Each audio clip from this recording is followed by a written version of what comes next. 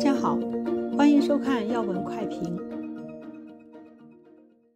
汪洋一片，京津冀洪灾事出有因。专家解读：中共不作为意味什么？今天有多名专家为我们深度分析和解读。他们是前大陆媒体人赵兰健、时事评论员唐靖远、飞天大学人文科学系副教授张天亮博士。以及加拿大作家、记者和时事评论员盛雪。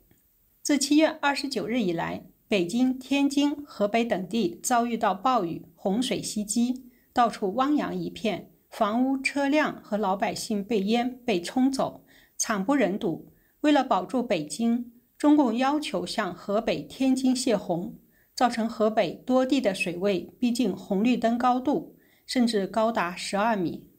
中共水利部官员曾经表示，河北涿州完全退水可能需要一个月，如果不再降雨，大清河东店洪水消退也要两个月以上。因为天天在看这些消息，真的每一次看啊，那种那种痛心，看到那个人在这种这种环境当中去挣扎求生，那么的。呃，那么的无奈，那么的，就是完全是绝望的这种状态。应该说呢，天灾在世界上任何地方都有可能有，啊，甚至呢，在很多地方还有很多。但是呢，如果能够把天灾是变成人祸，甚至利用天灾去实施迫害的这种地方很少。但是呢，中共是一个，是来自于涿州的，也是一位知情人的爆料。他就说呀，他说他的同学就是涿州电视台的记者，这位记者就告诉他说，经过这次泄洪以后，他再也干不下去了，他自己的工作他都干不下去了。为什么呢？第一个就是涿州的市委书记他实在看不下去。涿州市委书记叫做蔡伟华，这个人从涿州泄洪开始到现在已经是差不多一周过去了，这个人他没有出来说一句话。现在河北省的红十字会对涿州的这个捐款赈灾去这个行为进进行追责，原因就是因为河北省的红十字会他们觉得没有分到一杯羹，他们没有从中就得到好处。所以大家想想，就是这样的一种行为，在在这么多的人生死在处在就是可以说生死悬于一线这种情况之下，官方他们在做什么？第二个，他觉得就是实在是看不下去的，是官方出现严重的这种不作为，就是民间的救援队来了以后啊，官方是完全的不管、不对接、不提供任何的这种相关的这种帮助。第三个比较关键的信息呢，就是说这个蔡伟华，也就是涿州市的市委书记，他在一个内部会议上他自己说的，说这个。他自己主动的去申请说要保北京，放弃涿州，那就先把我们涿州给淹了吧。还有第四个就是非常令人震撼的一个信息，就是这位涿州电视台的这个记者呢，他呢有跟随这个救援队去拍摄嘛，结果没有想到呢，他看到一个画面是什么呢？就是到了一个地方，一打开门，满屋都飘着都是尸体，惨绝人寰。然后他就说了这么一句，他说就是来爆料的这位这个涿州的本地人，他说涿州人呢现在在共产党的眼里啊，连人矿连韭菜都算不上，什么都不是，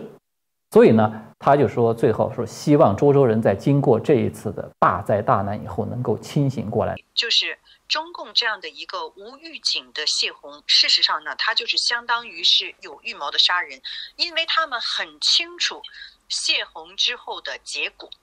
是吧？那么不，它还不是一个呃普通的一种谋杀，而是呢无区别的滥杀。我说，其实中共它就是在屠城，说严重一点，它真的就是在屠城。无预警的、无无通知的、无转移的，你就直接进行泄洪，那么他说白了就是在蓄意杀人。从这个当初的河南的这个溃坝事件。再到这个唐山的地震事件，再到二零一九年那个武汉的这个瘟疫大爆发等等，所有这些都是你会看到他的思维方式、行事的逻辑，它是完全一致的，从来都没有变过，这就是他们的一个惯例。河北涿州自惨遭泄洪至今，高层官员集体躺平不作为，甚至涿州市委书记蔡伟华、市长李宪峰也悄无踪影。那么这场洪灾到底是天灾还是人祸呢？这是一场人祸，首先，在信息透明和危机事件知情权这个角度，这是一场信息人祸。早在七月二十八日，墙内的良知消息人士和我一起，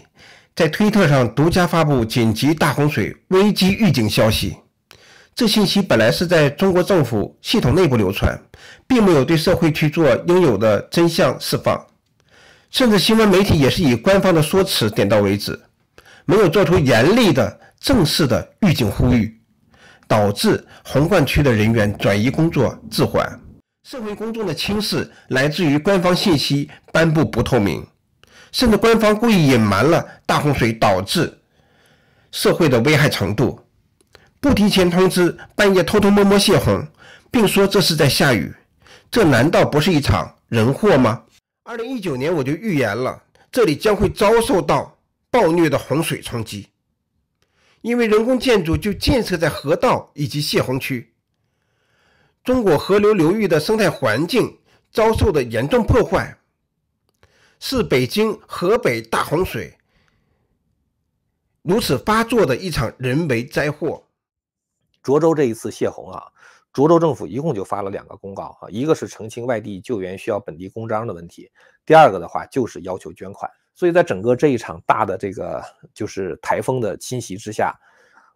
省一级政府、市一级政府事先没有通知，灾难发生的时候没有救援，甚至不让外地人进来救援，灾后除了捐款就是作秀，这就是连政政府一个最基本的救灾，一个政府最基本的安抚百姓和。灾灾后这种善后的工作都不做了，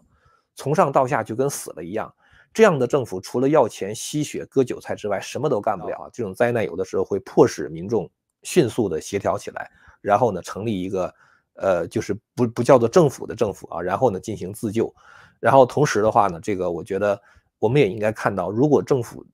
就中共政府已经彻底躺平，没有任何行政能力的时候，那么我们大概也应该可以猜到。当百姓反抗的时候，恐怕他们也是什么都做不了。好的，欢迎您在下面给我们留言您的看法、反馈和建议。感谢您收看这一期的要闻快评，下次节目时间和您再会。